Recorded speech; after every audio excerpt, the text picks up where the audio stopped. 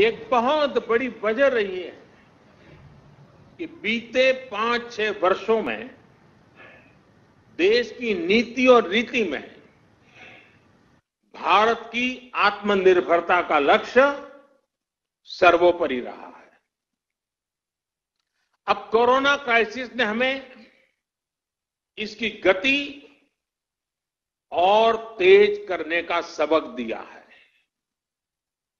इसी सबक से निकला है आत्मनिर्भर भारत अभियान।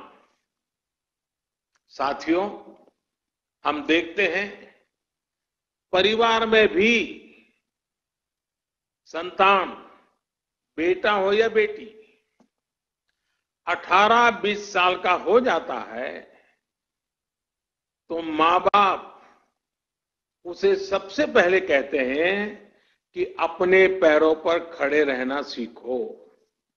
हर परिवार में सुना होगा। आप जो मुझे सुन रहे सबने सुना होगा कि 18-20 साल की उम्र में उनके माँ बाप ने उनको कहा होगा कि बेटे, बेटी, अब अपने पैरों पर खड़े रहना सीखो।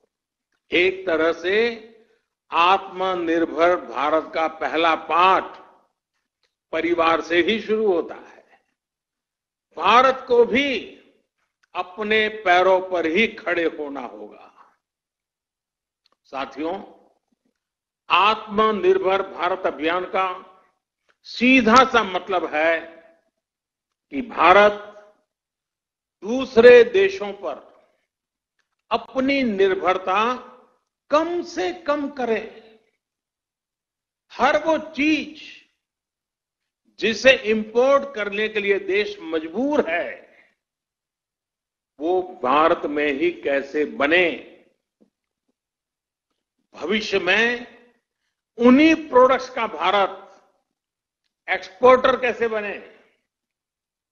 इस दिशा में हमें और तेज़ी से काम करना है।